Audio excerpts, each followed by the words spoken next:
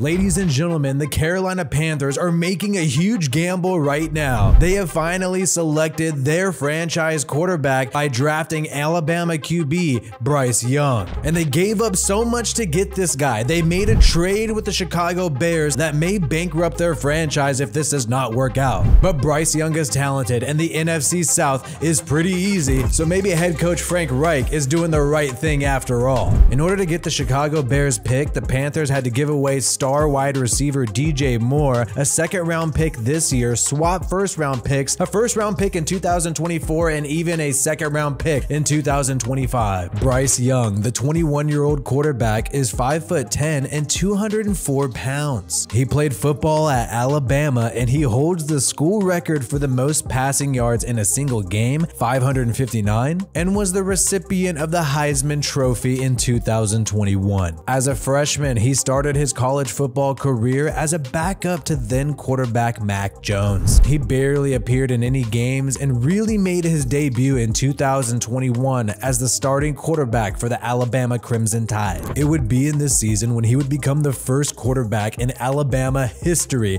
to become the Heisman Trophy winner. He also won AP Player of the Year, the Manning Award, and SEC Offensive Player of the Year. And he led the SEC in passing yards and touchdowns. In 2022, he would lead Alabama to an 11-2 record and would finish 6th in Heisman Trophy voting, ending the season with 3,328 passing yards and 32 touchdowns with only 5 interceptions. But the biggest issue with Bryce Young is not what he accomplished in his college career. The biggest issue with Young is his size, and he will be the smartest quarterback to ever start in the NFL. Kyler Murray is 5'10", the same height but technically more weight at 207 pounds. And when you see Bryce Young next to Kyler Murray, the size issues are a concern. Kyler Murray is already one of the smaller, if not the smallest quarterback in the NFL, and Bryce Young clearly looks smaller than him, and this is from 2022 in October. Kyler Murray looks thicker and looks like he weighs more than Bryce Young, has more muscle, and he looks a little bit taller. Bryce Young seems like his hair is giving him a boost in height. People have joked around a lot about Bryce Young's height, how he's very small, and how this could really, you know, end up badly in the NFL. He could get cracked a lot, and who knows if he's injured, and do you really want to waste a high draft pick on a guy who at the end of the day, even if he's talented, even if he can make plays, make every throw, at the end of the day, if he's not available, then it really doesn't matter. And that's why the biggest con for Bryce Young is his size. Yes, size, size, size. And he does tend to sit deep in the pocket. He's able to do that in college because he has tackles who could hang, but I don't know if he'll be able to do that in the NFL.